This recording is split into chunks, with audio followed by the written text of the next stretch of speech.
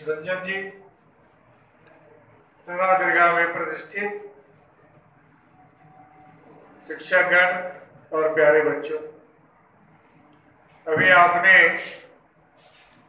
दो विद्वान विशेषज्ञों से विस्तार पूर्वक ऑस्टियोपोरोसिस से होने वाली जो समस्याएँ होती हैं, जो क्षति होती है उसके संबंध में जाना। और बहुत हद तक आप जान चुके कि होता क्यों है और किस प्रकार हम इससे बच सकते हैं। डॉक्टर होदा आपको एक अलग से व्याख्यान देंगे हम के जाने के पश्चात। लेकिन मोटी बात जो हम सबको समझ में आती है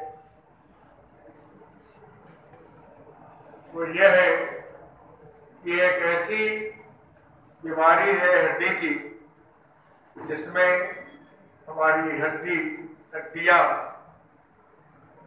कुछ उस प्रकार की हो जाती है, जैसे घून लगा, अनाज है, या दिमक लगा, भवन।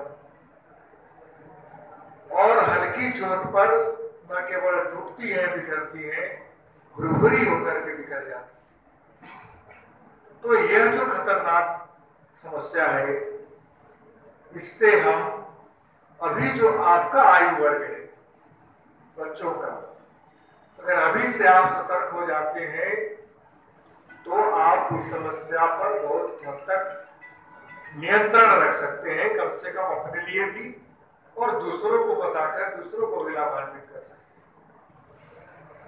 दोनों विद्वानों ने बताया आपको कि कैल्शियम जो हड्डी के लिए बहुत आवश्यक होता है और विटामिन डी,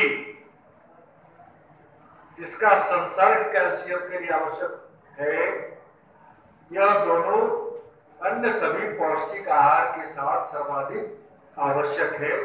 नमस्कार। कंट्री इनसाइड न्यूज़ से जुड़ने के लिए आपका बहुत बहुत धन्यवाद। हमारे चैनल को यूट्यूब पर सब्सक्राइब करें और बेल आइकन दबाएँ, ताकि हमारी वीडियो सबसे पहले आप तक पहुँचे।